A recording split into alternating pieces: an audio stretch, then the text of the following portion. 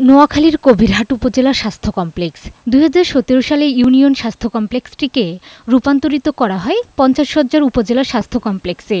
কবিরহাট উপজেলার দুই লাখ মানুষের চিকিৎসার ভরসা এই প্রতিষ্ঠানটি।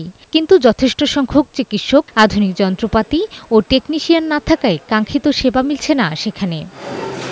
পঞ্চাশ সজ্জার স্বাস্থ্য কমপ্লেক্স হলেও শয্যা রয়েছে একত্রিশটি।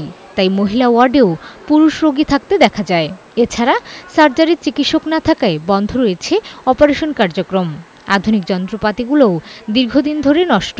অভিযোগ রয়েছে ওষুধ দেওয়ার কথা থাকলেও বেশিরভাগ ওষুধ কিনতে হয় বাইরে থেকে। ওষুধ সরবরাহ নাকি বন্ধ এখন জুন মাস। সকালে ইঞ্জেকশন গ্যাস্ট্রিকের ওষুধ বাইরে থেকে কিনে আনছি ওষুধ যদি বাইরে থেকে কিনতে হয় তাহলে আমরা কেন আসব সরকারি হাসপাতালে? হাসপাতাল চত্বর সহ এর আশেপাশে মেডিকেল বর্জ্য সহ নানা আবর্জনা দীর্ঘদিন ফেলে রাখায় ময়লার স্তূপ জমেছে।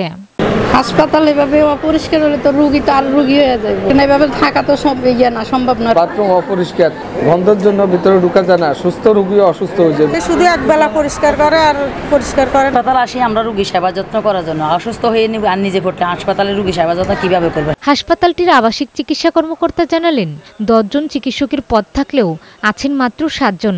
লোকবলের জন্য আমরা কয়েকবার বলা হয়েছে বা বিভিন্ন সময় চাহিদা দিচ্ছি। সিএসআরকেও জানাইছি এটা পর্যায়ক্রমে আসবে এটুকু আশ্বাস আমরা পেলাম আর তবে চিকিৎসক স্বল্পতা দূর করতে উদ্যোগ নেওয়া হয়েছে বলে জানালেন জেলার সিভিল সার্জন।